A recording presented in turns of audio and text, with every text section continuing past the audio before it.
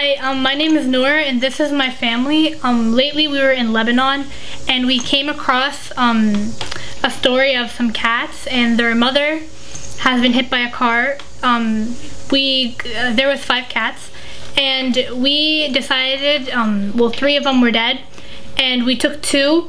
Um, one is Simba and the other one died two weeks later anyways, um, we it was time for us to head back home to Windsor, and when we were coming back um, in Greece, we ran into some trouble. They wouldn't let us board the plane, and but luckily, the co-pilot of Air Canada came in. He tried to help us out, and everything worked out.